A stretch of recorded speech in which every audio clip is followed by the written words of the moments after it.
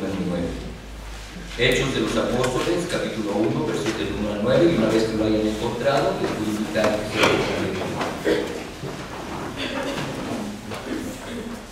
Dice la palabra de Dios en el primer tratado, o Teófilo, hablé acerca de todas las cosas que Jesús comenzó a hacer y a enseñar. Hasta el día en que fue recibido arriba, después de haber dado sobre el Espíritu Santo a los apóstoles que había escogido. a quienes también después de haber padecido, se presentó vivo con muchas pruebas indubitables, apareciéndoseles durante cuarenta días y hablándoles acerca del reino de Dios.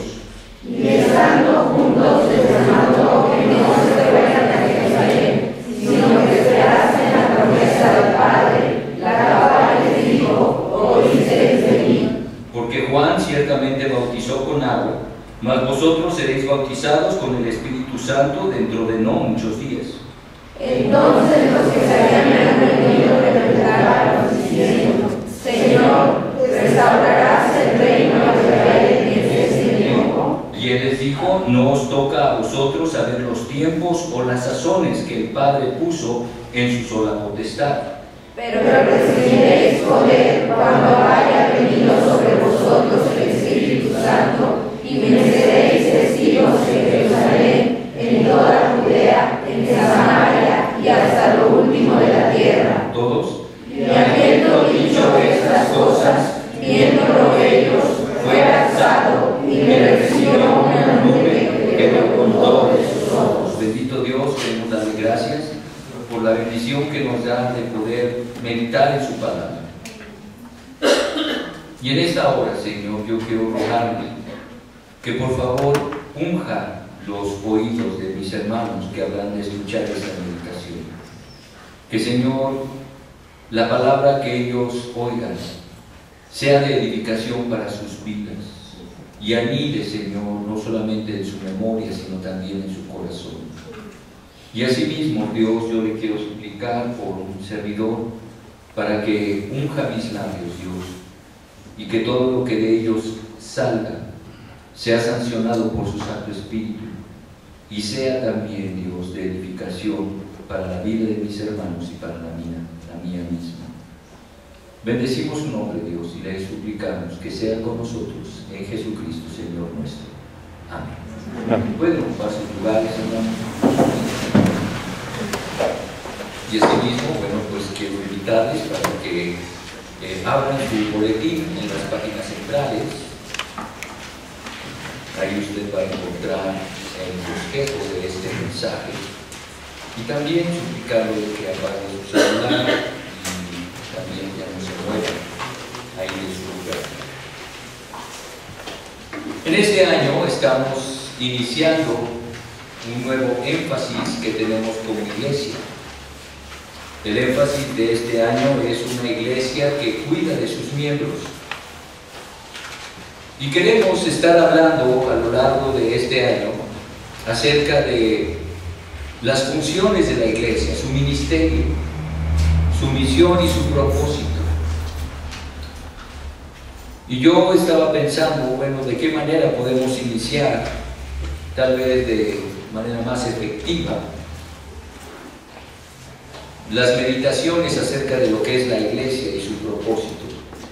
Y el Señor puso en mi corazón el predicar en este primer mes del año acerca de pasajes precisamente del libro de los Hechos, donde nos habla de las primeras horas, de los primeros días, de los primeros años del movimiento cristiano.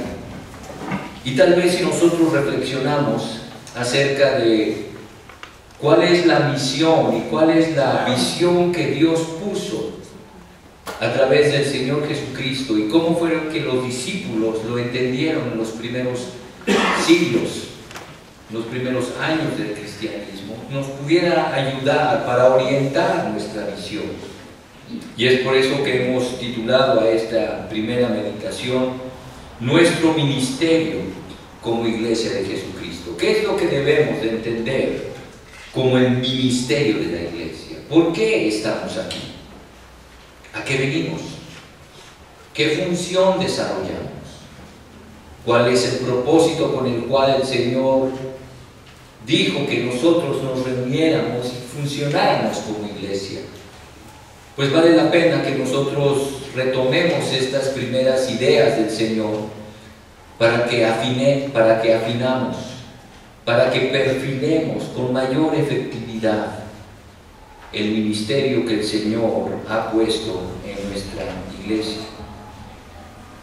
Y pensando en esto, encontré una frase de Novalis, quien fuera un poeta y filósofo alemán entre los siglos XVIII y principios del XIX, en donde él dice, la cristiandad tiene que hacerse de nuevo viva y eficaz y formarse otra vez una iglesia visible sin fronteras que acoja en su seno a todas las almas sedientas de lo supraterrenal y se haga gustosa mediadora entre el viejo y el nuevo mundo.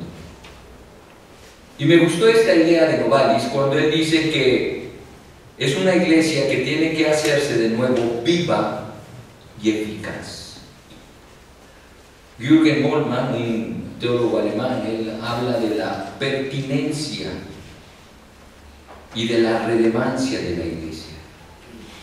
Si nosotros debemos de ser iglesia, debemos de pensar precisamente en ser pertinentes y ser relevantes. Muchas iglesias se han convertido y nos hemos convertido a veces también nosotros en piezas de museo, en donde uno entra a la iglesia y lo que uno mira es asuntos del pasado, liturgias del pasado, momentos del pasado, situaciones que ya no van a volver a vivirse. Y por eso hablamos de la pertinencia y de la relevancia de la iglesia. Una iglesia debe de ser pertinente, debe de saber responder a las necesidades del hombre del día de hoy. Debe de ser relevante, debe de ser importante la iglesia. Tu presencia como miembro de esta iglesia, tanto aquí en las instalaciones de nuestra iglesia como fuera de ella, debe de ser igualmente pertinente y relevante.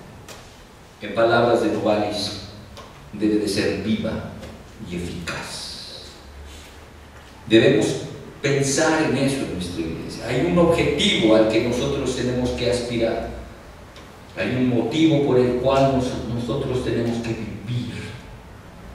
Y a la luz de este pasaje que hemos leído de Hechos, capítulo 1, versículos del 1 al 9, yo puedo entender ahí lo que el Señor perfila como el ministerio de la iglesia. ¿Para qué dejó el Señor la iglesia? Esta idea de la iglesia, ¿quién la tuvo? Pues ni más ni menos que Jesús. A él fue a quien se le ocurrió esta idea de depositar la obra que él había iniciado, la obra que él había llevado hasta su culminación en la cruz del Calvario, dejarla precisamente como una responsabilidad de la iglesia. Y si esto es así, entonces, ¿cómo es que nosotros participamos en este ministerio de nuestra iglesia? Como una introducción, hermanos, en su libro Algo hermoso para Dios, ese hombre que está ahí, ese periodista se llamaba Malcolm Mockridge. Narra él cómo conoció a la Madre Teresa de Calcuta mientras filmaba un documental para la BBC acerca de la labor de esta extraordinaria mujer. Mockridge estaba totalmente cautivado por la profunda compasión de la Madre Teresa hacia los pobres en los barrios de Calcuta. Pero él, un incrédulo, no comprendía la fe de ella. Lo que generaba mucho de esta incredulidad era que Mockridge no creía en la iglesia. Él decía, es una iglesia imperfecta y viciada. Una vez, mientras la Madre Teresa visitaba Londres, ella y Mockridge salieron a caminar. Y Mockridge recuerda, continué en mi muy preparada posición defensiva acerca de la iglesia, cuyas deficiencias, desmoronadas defensas y lamentables posibilidades futuras